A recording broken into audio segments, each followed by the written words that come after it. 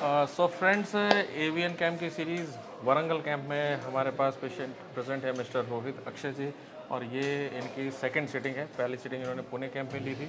हालाँकि हमसे पहले हैदराबाद कैंप में मिल गए थे, और फिर उसके बाद पुणे में इन्होंने लिया, और फिर आज इनकी सेकंड सीटिंग है।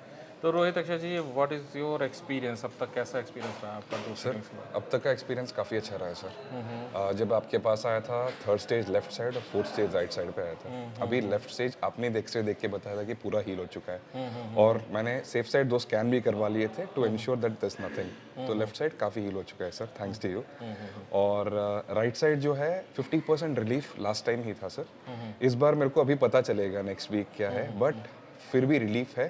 थोड़ा सा पेन है सर स्लाइट पेन और थोड़ा लिंपिंग है बट मच बेटर है कंपैरेटिवली तो वही आपका डाइट और प्रिकॉशंस ऑल्टरनेट मंथ्स करता रहता हूँ सर अभी धीरे धीरे एक्सरसाइज तो डेली एक दिन करता ही रहता हूँ मैं। एंड उसके साथ स्टैटिक साइकिलिंग भी कर रहा हूँ। तो दोनों हेल्प कर रहे हैं सर साइकिलिंग तो बहुत बहुत हेल्पफुल है साइकिलिंग बहुत इंपॉर्टेंट ये तो कोरोना की वजह से इतना सब हो गया इतना सब लोगों को प्रॉब्लम हो गई।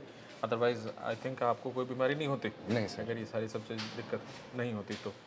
तो आपका रिव्यू भी बहुत इंपॉर्टेंट है क्योंकि आप लगभग पिछले एक डेढ़ साल से हमारे कांटेक्ट में हैं मेडिसिन भी लेते हैं और टाइम टू टाइम एक्सरसाइज भी कर रहे हैं पहले इनको मौका नहीं मिल पाया बट जब से इनको थेरेपीज़ का मौका मिला तब से ये प्रॉपरली फॉलो कर रहे हैं तो आप सभी लोग जो भी वीडियोस देखते हैं वो सभी लोग इसको फॉलो करें तो जो दूसरे एवियन पेशेंट्स हैं उनको आप क्या सजेस्ट करना चाहिए अगर तेलुगु में बोल दें तो बहुत अच्छा रहेगा ఆ, అందరికీ నమస్కారం అండి ఆ, సార్ అడుగుతున్నారు ఏం సజెషన్స్ ఇవ్వాలి ఏవియన్ పేషెంట్స్కి అని first of all more than you know getting treatment physically mental స్ట్రెంగ్త్తో రావాలండి. You have to be positive positive అనేది అంటే నాకు క్యూర్ అవుతుంది నా వల్ల అవుతుంది అనేది చాలా ఉండాలి మైండ్లో సెకండ్లీ సార్ చెప్పిన diet restrictions and you know అది సాత్విక్ లైఫ్ స్టైల్ ఫాలో అవ్వడం చాలా ఇంపార్టెంట్ మెయిన్లీ uh, ఏంటంటే టైంకి medicine and raw diet follow చేసి రోజుకు at least one time religiously exercise చేస్తే యూనో మీరు అందరికీ చాలా బెనిఫిట్ ఉంటుంది.